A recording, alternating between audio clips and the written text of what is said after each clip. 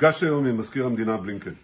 אמרתי לו שאני מאוד מעריך את העובדה שיותר מחמישה חודשים אנחנו עומדים יחד במלחמה נגד החמאס.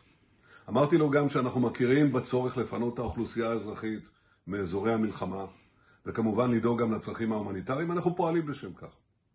אבל גם אמרתי שאין לנו דרך לנצח את החמאס בלי להיכנס לרפיח ולחסל את שארית הגדודים שם.